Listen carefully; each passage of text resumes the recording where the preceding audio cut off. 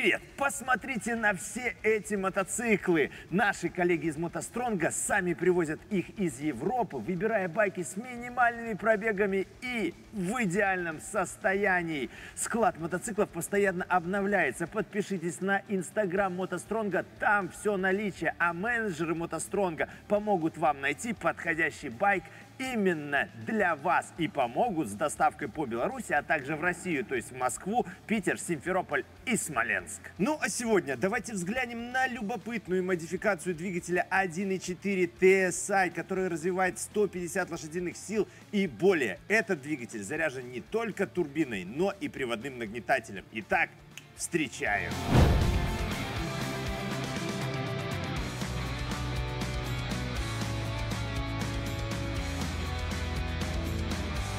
Мы уже рассказывали о двигателе 1.4 TSI, а сегодня перед нами его более мощная и, можно сказать, более проблемная версия. Эти двухнаддувные двигатели выпускались с 2006 по 2018 год, имеют более двух десятка модификаций. Самые мощные выдают 180 лошадиных сил. Вот этот двигатель очень распространенный, с обозначением CAVA. Эти двигатели устанавливали на все переднеприводные платформы, начиная с Golf 5 и Golf 6. Также, естественно, Jetta 5, Jetta 6, на Туран первых двух поколений, на Tiguan Scirocco EOS, также на Passat B6, B7, Minivan, Charan, естественно, на Seat Ibiza и Alhambra, а также на Audi A1. Напомним вам, что такое 1.4 TSI. Это чугунный блок цилиндров, цепной привод ГРМ и непосредственный впрыск. В цилиндры этого двигателя дует турбина KKK-03 и компрессор Eaton TVS у самых мощных версий избыток наддува достигает полутора бар. Когда моторы серии EA111 заменили на новое семейство двигателей EA211, то вся эта тема с двойным наддувом закончилась. На новых даунсайзинговых двигателях VAG двойного наддува нет. Поклонники марки Volkswagen, сделавшие выбор в пользу моторов 1.4 TSI до 2010 года, хапнули немало горя. Удивительные поломки и гибель этих моторов – обернулись именно на гарантийный период. Поэтому глобальных финансовых затрат со стороны владельцев не последовало, потому что все решалось в гарантийный период. Так вот, сегодня мы будем разбирать, можно ли доверять двигателям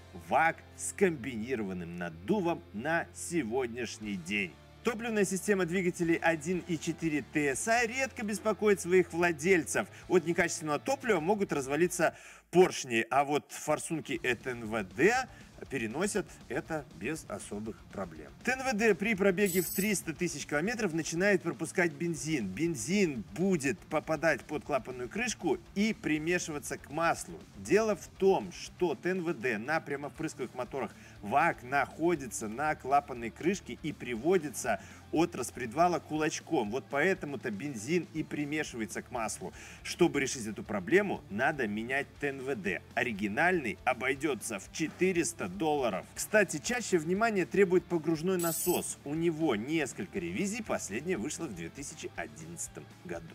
Приводной нагнетатель Roots представляет из себя два параллельных винтовых вала, которые соединены с друг с другом. Вся эта конструкция приводится шкивом с электромагнитной муфтой. Шкив приводится от коленвала ремнем навесных агрегатов. И еще один ремешок соединяет муфту с верхним винтовым валом. Внутри корпуса нагнетателя оба вала соединены между собой зубчатыми шестернями. Нагнетатель висит сбоку на двигателе под дросселем и регулирующей заслонкой. Воздух засасывается в его корпус снизу, сжимается и направляется дальше по впускному тракту из его задней части корпуса. Нагнетатель постоянно нагнетает воздух, пока скорость вращения коленвала не достигает 2400 оборотов в минуту. Ну, скажем так, когда надо средний крутящий момент. А если разгон происходит на трассовой скорости, то нагнетатель может работать в диапазоне до 3500 оборотов в минуту. Во всех остальных режимах работы двигателя турбокомпрессор справляется в одиночку. То есть нагнетатель отключается совсем посредством электромагнитной муфты, то есть его валы не вращаются, а воздух во впуск двигателя попадает в обход нагнетателя. Такое отключение производит отдельная регулирующая заслонка. Аналогичным образом нагнетатель отключается, когда коленвал начинает работать со скоростью больше 3500 оборотов в минуту. В общем, турбокомпрессор и нагнетатель на этом двигателе одновременно почти никогда не работают. Нагнетатель служит очень хорошо, но принцип его работы завязан на регулирующие заслонки. Поэтому, если она подклинивает либо не закрывается, то тогда нагнетатель перестает всасывать и нагнетать воздух. В результате этого у двигателя 1.4 TSI появляется турбояма. Электромагнитная муфта привода нагнетателя встроена в помпу системы охлаждения, поэтому если эта муфта накроется, то придется покупать и помпу. Помпа оригинальная стоит 230 долларов. Турбины на моторах 1.4 TSI были проблемным местом из-за того, что трубка, по которой масло сливалось из картриджа, перегревалась от жара впускного коллектора, масло в ней закоксовывалось, и тогда двигатель начинал сжирать масло, которое продавливало во впуск или выпуск. В общем, производитель решил эту проблему, обернув эту трубку термоизоляцией. А вообще при регулярной замене масла эти турбины ходят по 200 тысяч километров. Гораздо чаще случаются проблемы с клапаном N75, который управляет открытием перепускной заслонки.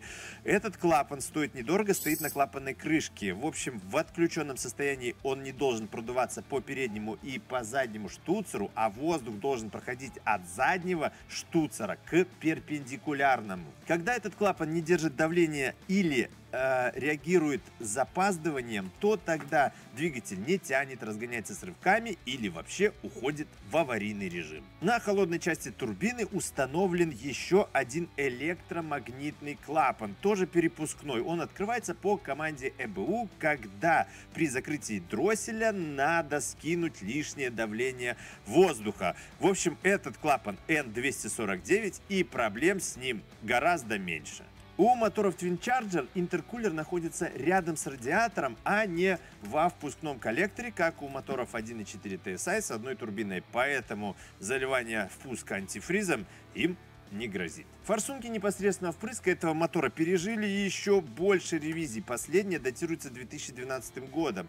Эти форсунки модернизировали и улучшали, чтобы сделать работу мотора 1.4 TSI максимально плавной. Ну а сегодня разобрать этот двигатель поможет Александр. Встречаем. И мы начинаем нашу разборочку.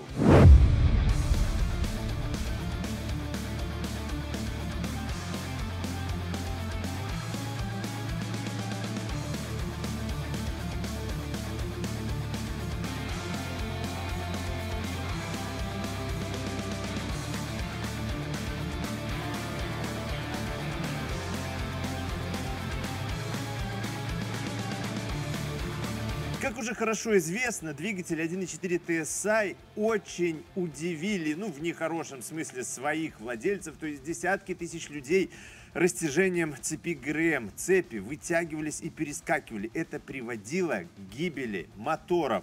И это происходило при очень мизерных пробегах. Чтобы застраховаться от гибели этого мотора, из-за проблем, связанных с цепью ГРМ, надо каждые 100 тысяч километров менять ремкомплект. Оригинальный ремкомплект стоит 800 долларов, но в него входят цепь ГРМ, звезды валов, возвращатель, башмаки, натяжитель, прокладки и если вот чтобы по красоте все было, можно еще поменять сальники валов. И еще, при эксплуатации не стоит оставлять машину на передаче, особенно если она может откатиться назад. Ни для кого не секрет, что цепь вдавит натяжитель, а при запуске двигателя цепь просто перескочит. Фазовращатель на двигателях 1.4 TSI не начинает тарахтеть, то есть не изнашивается, потому что входит в ремкомплект привода ГРМ. Если вы устанавливаете минимальный ремкомплект от неоригинального производителя, то стоит узнать версию фазовращателя. Последняя версия с буквой Е на конце.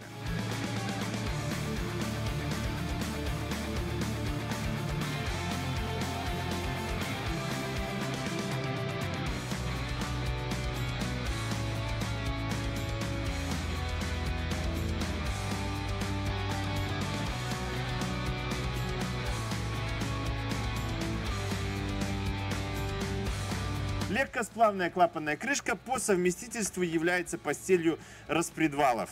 Мотор у нас чистенький и никакого износа на кулачках мы не наблюдаем.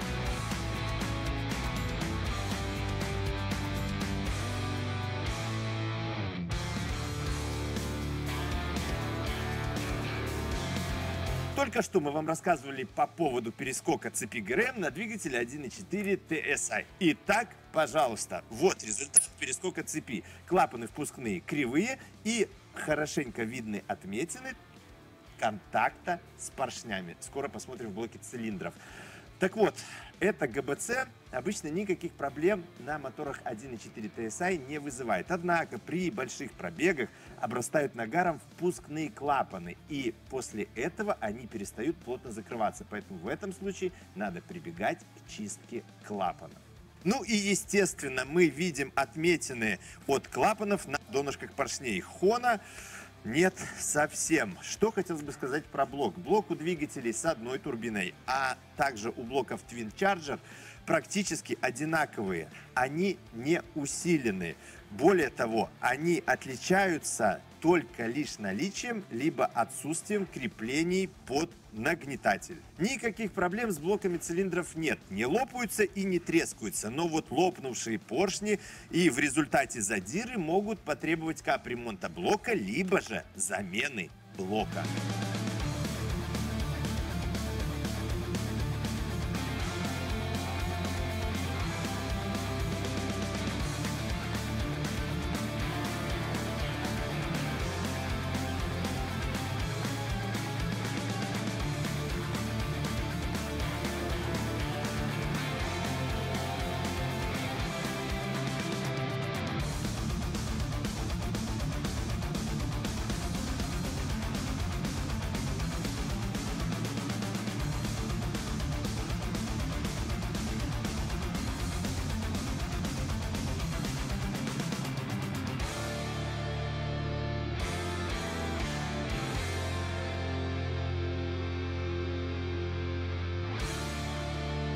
Мотор 1.4 TSI не так уж редко погибали при пробегах в 50 тысяч километров из-за разрушения поршней. Поршни разрушались из-за детонации, вызванной низким октановым числом топлива. То есть в этот мотор надо заливать бензин АИ-98, можно и хороший 95, но система охлаждения должна работать нормально. В общем, в 2010 году производитель улучшил поршневую группу и поршни стала делать не компания Мали, а компания Колбен Шмидт. Плюс внесли изменения в прошивки и эта проблема с разрушением поршней осталась прошлом. На сегодняшний день уездить мотор 1.4 TSI с двойным наддувом можно только при условии экономии на моторном масле. Моторы с разрушенными поршнями, то есть прогоревшими краями, с разрушенными перегородками между кольцами и с обильным нагаром на донышках поршней. У этих моторов на поршнях были наглухо закоксованы поршневые кольца, а нагар приводит к локальному перегреву, то есть буквально нарушает теплоотвод. Моторы 1.4 TSI не терпят увеличенных интервалов замены масла, а также коротких поездок, потому что они не успевают прогреваться, а это в свою очередь увеличивает темпы образования нагара. Масло и вовсе надо менять до 8000 километров и давать этим моторам почаще выгуливаться по трассам. И, кстати, поршневая группа, коленвал, шатуны у Twin Charger точно такие же, как у двигателя 1.4 TSI с одной турбиной. Вообще, после всех доработок, а именно после 2010 года, двигатели 1.4 TSI начали радовать надежностью. И еще раз повторим, выгуливайте эти моторы на высокой скорости, только хороший масляный сервис. На замену надо всего лишь 4 литра масла и хороший прогрев. Это все положительно скажется на ресурсе этого мотора. А вообще эти моторы еще очень серьезно чипуют, устанавливают неоригинальные кованые поршни. Они хорошо и весело ходят, выдавая более 200 лошадиных сил. Ну, а теперь по состоянию. Есть определенный износ на коренных и шатунных вкладышах, но ничего критичного. Коленвал визуально у нас неплох. И, пожалуйста, наглухо закоксованные маслосъемные кольца, нагар на донышках поршней. Верхние коренные вкладыши тоже в хорошем состоянии. Ну что, разборка закончена, что можно сказать? История двигателей 1.4 TSI семейства EA111 связана с доработками и улучшениями. И все-таки эти двигатели довели до ума. Сейчас они служат долго. Не стоит пропускать интервал замены цепи ГРМ. Как мы говорили, 100 тысяч километров. В ряде случаев можно обойтись заменой цепи, башмаков и натяжителя. Также не стоит экономить на масляном сервисе. Масло надо менять с интервалом до 8 тысяч километров, использовать качественное, и тогда эти моторы пройдут и 300 тысяч километров. В общем, если вы хотите, чтобы мы и дальше делали вот такие классные и подробные обзоры, нам нужна ваша поддержка. Обязательно подпишитесь на наш канал, нажмите колокольчик, поставьте лайк этому видео и поделитесь этим видео в соцсетях. Помните, что поддержка нашего канала – это плюс 500 тысяч километров к ресурсу вашего автомобиля. С вами всегда была есть и будет компания «АвтоСтрон».